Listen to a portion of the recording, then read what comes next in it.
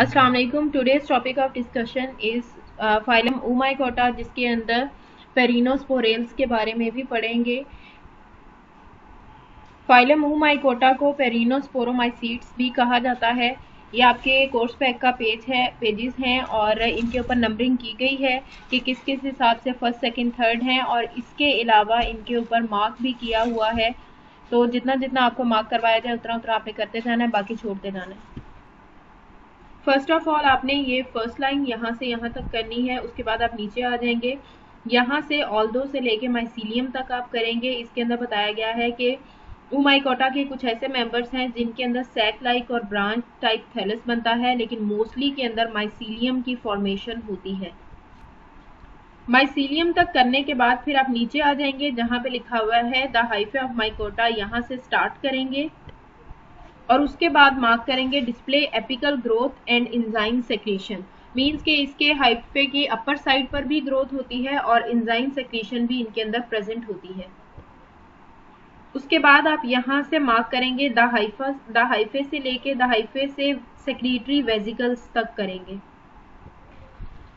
ऊमाइकोटा का जो हाइफे होता है, वो सीनोसिटिक होते हैं। बहुत रेयरली ऐसा होता है कि किसी जगह पर इनके अंदर कोई क्रॉस वॉल प्रेजेंट हो। इसके अलावा इनका जो साइटोप्लाज्म होता है, वो स्मूथ नहीं होता क्योंकि उसके अंदर वैक्यूल्स और ग्रेनुलर लाइक स्ट्रक्चर्स प्रेजेंट होते हैं। गोल्जी अपरेटस माइटोकॉन्ड्रिया न्यूक्लियाई वगैरह प्रेजेंट होते हैं और इसका जो अपर सेक्शन होता है, उसके अंदर मोस्टली ऑर्गेनेलिस वगैरह प्रेजेंट नहीं होती, सिर्फ़ सेक्रेटरी वेजिकल्स वगैरह प्रेजेंट होती हैं। सेक्रेटरी वेजिकल तक करने के बाद फिर आप नीचे आ जाएँगे। ऊमाइकोटा के बहुत से फीचर्स जो हैं, वो ट्रू फंजाई के साथ मिलते जुलते हैं। देन आप इस पे इसे यहाँ पर मार्क करेंगे, उसके बाद एंडिंग पे आ जाएँगे। यहाँ से मार्क करेंगे द ऊमाइकोटा से। ऊमाइकोटा के अंदर जो स्पोर्स प्रोड्यूस होते हैं, उनको जू स्पोर्स कहा जाता है और वो जिस स्ट्रक्चर के अंदर प्रेजेंट होते हैं, उसको जू स्पोरेंजिया कहा जाता है। इसके अंदर फ्लैजिलम जो है वो प्रेजेंट हो सकता है स्पोर्स के साथ और इसके अलावा स्पोर्स एक टाइप के भी प्रेजेंट हो सकते हैं और दो टाइप के साथ भी दो, दो टाइप के भी प्रेजेंट हो सकते हैं। और अगर दो टाइप के जू स्पोर्स प्रेजेंट हो तो जो फ़र्स्ट टाइप के जू स्पोर्स बनेंगे उनको ऑक्सिलरी जू स्पोर्स कहा जाएगा। देन आप यहाँ तक निशान लगाएँगे। हेट्रो हेट्रो हेट्रोकॉन्ट और स्ट्रेमिनी स्ट्रेमिनी पिलस ऐसे ग्रुप होता, ऐसा ग्रुप है जिनके अंदर अनइक्वल फ्लैजिला प्रेजेंट होते हैं। और विप्लैश टाइप जो फ्लैजिलम होता है, वो इस तरह का होता है, जो फ्लेक्सिबल होता है और जिसके ऊपर हेयर टाइप स्ट्रक्चर अपियरेंस जो है वो प्रेजेंट होती है। तो इनके अंदर basically flagella unequal type flagellum present होता है और जू स्पोर्स प्रेजेंट होते हैं और अगर जू स्पोर्स दो टाइप के बने तो फ़र्स्ट वाले को ऑक्सिलरी कहते हैं और जो सेकेंड टाइम बने उसको प्रिंसिपल जू स्पोर कहा जाता है। यहाँ तक निशान लगाने के बाद आप नीचे आएँगे। यहाँ पर ये जो मार्क हुआ है, इन स्पीशीज से लेके स्पोरेंजियम तक कि कुछ ऐसी स्पीशीज हैं जिनके अंदर ऑक्सिलरी जूस्पोर प्रेजेंट नहीं होते।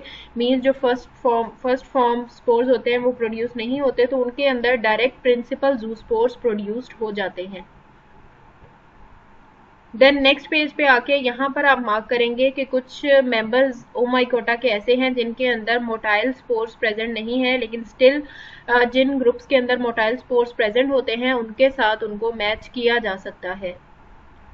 देन स्टार्ट होती है ओमाइकोटा की सेक्सुअल रिप्रोडक्शन जिसके अंदर आप इसका लाइफ साइकिल पढ़ेंगे और साथ साथ रिप्रोडक्शन पढ़ेंगे।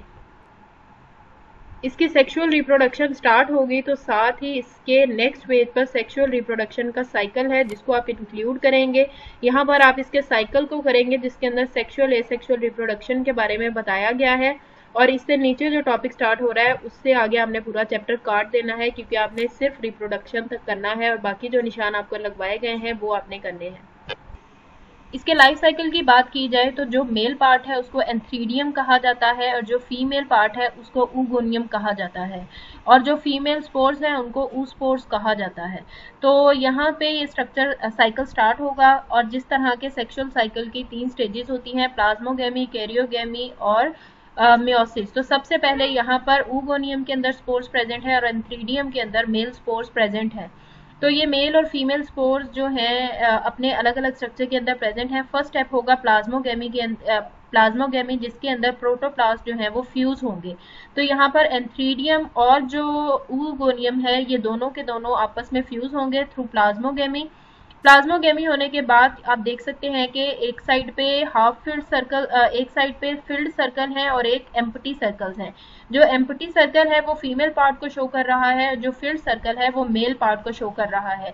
तो जब प्लाज्मोगेमी होगी मेल और फीमेल दोनों सर्कल जो है, वो एट अ टाइम को एग्जिस्ट करेंगे। लेकिन फिर होगी केरियोगेमी केरियोगेमी होती है फ्यूजन ऑफ़ न्यूक्लियाई और फ्यूजन ऑफ़ न्यूक्लियाई के अंदर मेल और फीमेल दोनों के न्यूक्लियाई जो है वो फ्यूज करेंगे और जो सर्कल अलहदा अलहदा थे फुल फ़ील्ड और आ, मतलब बिल्कुल खाली सर्कल और फिल्ड सर्कल वो इस तरह से फ्यूज करने के बाद आ, एक सर्कल की फॉर्म में आ जाएँगे। ये एक सर्कल हाफ़ फ़ील्ड आधा फ़ील्ड होगा और आधा अनफील्ड होगा क्योंकि न्यूक्लियाई फ्यूज कर गए हैं। इस वजह से अब यहाँ पे ऊस्पोर फॉर्मेशन हो गई है। और यहाँ पे अब जब ये ऊसपोर बन गया है, केरियोगेमी हो गई है तो उसके बाद आहिस्ता आहिस्ता ये ग्रो करने लग जाएगा और माइसीलियम इससे बन जाएगा। और माइसीलियम बनने के बाद अगर सेक्सुअल साइकिल में प्रोसीड होना हो तो म्योसिस होती है। और म्योसिस के बाद फिर से ये जैसे कि यहाँ पर आप देख रहे हैं कि हर सर्कल हाफ़ फ़ील्ड है और हाफ़ अनफील्ड है। क्योंकि ये कैरियोगेमी के बाद के स्टेप्स हैं, लेकिन म्योसिस के बाद म्योसिस रिडक्शन डिवीज़न होती है। फिर से सर्कल्स अपनी अपनी पोजीशंस में आएँगे मेल अलहदा हो जाएँगे और फीमेल अलहदा हो जाएँगे। लेकिन अगर इसी माइसीलियम से ए सेक्शुअल प्रोसेस ने प्रोसीड करना हो तो फॉर एग्ज़ाम्पल यहाँ पर ए सेक्शुअल रिप्रोडक्शन होनी है तो म्योसिस की जगह पर यहाँ पर जूसपोरेंजियम बन जाएगा और जूसपोरेंजियम से फिर आहिस्ता आहिस्ता जो स्ट्रक्चर्स हैं वो इसके बर्स्ट होने की वजह से स्पोर्स जो हैं वो बनने लग जाएँगे। पहले जो स्पोर्स बनते हैं, उनको ऑक्सिलरी स्पोर कहा जाता है और जो बाद में बनते हैं, उनको प्रिंसिपल स्पोर कहा जाता है। एक्सिलरी स्पोर से सिस्ट बनेगा और फिर उसके बाद ग्रोथ होना स्टार्ट होगी, फिर प्रिंसिपल स्पोर बनेगा और प्रिंसिपल स्पोर से भी सिस्ट बनेगा। और फिर सिस्ट जो है, वो ब्रेक करेगा, इससे स्पोर्स निकलेंगे और ये स्पोर ग्रो करके माइसीलियम बना देंगे। इस तरह से ए साइकिल कंप्लीट हो जाएगा। तो ये है इसका सेक्सुअल और ए सेक्सुअल साइकिल जिसको आपने जो ऊपर आपको निशान लगवाए हैं, वो करने के बाद आपने इसकी इस तरह से सेक्सुअल ए रिप्रोडक्शन के बारे में बता देना है। तो इस तरह से आपका ऊ माइकोटा जो फाइलम है, वो कंप्लीट हो जाएगा।